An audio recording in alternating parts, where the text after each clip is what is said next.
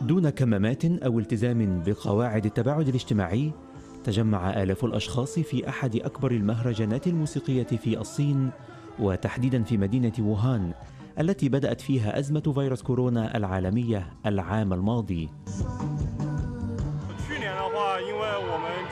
لقد عانينا العام الماضي من تفشي الفيروس ولذا لم يكن من السهل الوصول إلى ما نحن عليه اليوم حيث يمكننا إقامة مهرجان للموسيقى مثل هذا.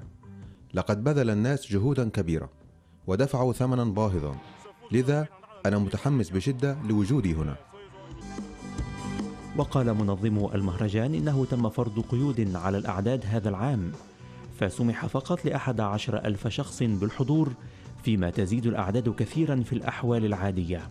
مؤكدين أن البعض استخدموا إجراءات احترازية لكن كثيرين لم يستخدموها.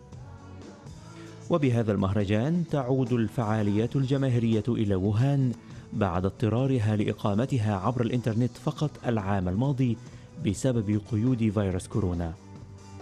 ووفقا للبيانات الرسمية فقد عاش السكان في ووهان أكثر من شهرين من القيود الصارمة في ظل عمليات الإغلاق الأولى في عام 2020 ولكن السلطات تقول إن المدينة أصبحت الآن خالية تماما من فيروس كورونا.